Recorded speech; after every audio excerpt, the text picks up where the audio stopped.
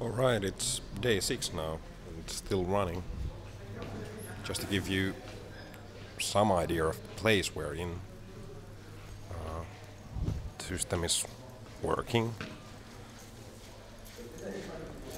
You always get to see the same works when I make these videos because there are two works which are longer than the others, so they kind of take a lot of space. But that's not a real problem, I think, because people have their routines. They come through that passage uh, to work, uh, and every time that they come, they come at the same hour, so they will anyway see just a small fragment of it. And everyone who comes with their own routines will kind of have an, their own idea on what's on display here.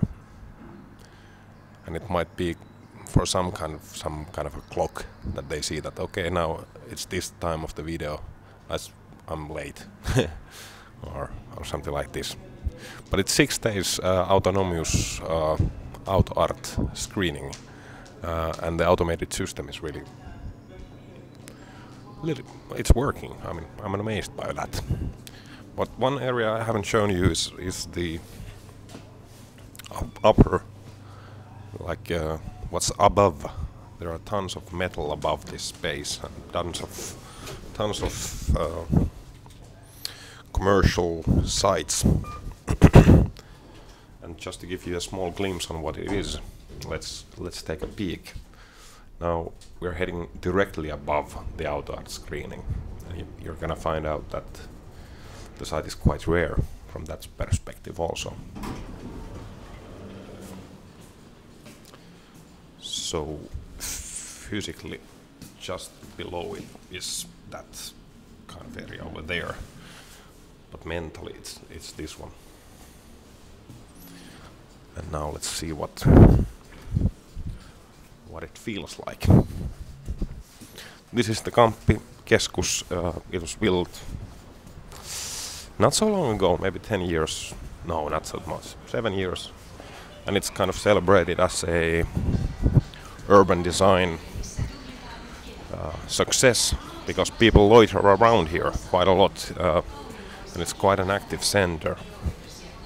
There are a lot of shops, uh, and I know that uh, due to the economical crisis, there are some in some issues. Uh, but there are something like I don't know hundreds of shops here. During the opening weeks of this place, a, a person died by jumping from above. That's one of the urban stories I know of the site. A lot of shops. Let's head downstairs. We went into the first floor, which connects to this Annankatu place.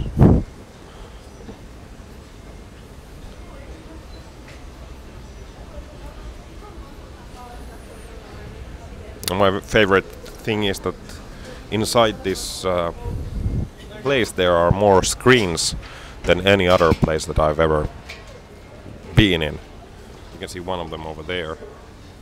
There are on every corridor inside here these small screens which boost out commercial advertisement. But in comparison to what we got downstairs, there's only one screen. I'm gonna show you that next.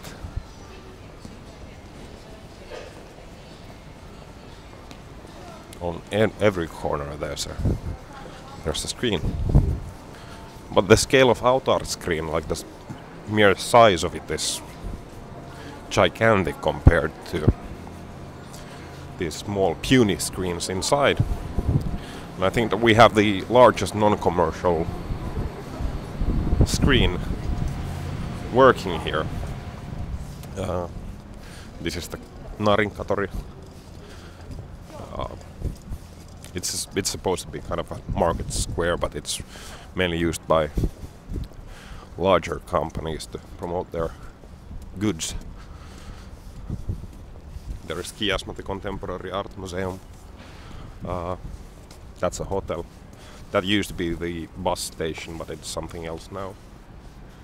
Uh, and there's a screen that's in scale is, is comparison to our screening, and uh, you just kind of follow with your eyes. We are underneath, right about there, and that's and that that screen, that media surface, as such, caused a lot of uh, debate. I think people were quite intimidated about having such large screens. It was the first one in Helsinki which was like stably positioned like that. So, hmm. Don't worry, be happy. Well, it's day six. It's gonna be for until next,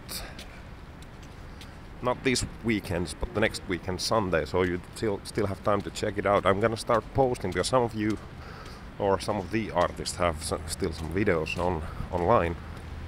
Uh, have the same videos that are in the screening. I'm gonna start sharing those links early next week. So if you don't have time to check out the art screening in its in its in its installation mode and beauty underneath the shopping center, then uh, you can surely check them online.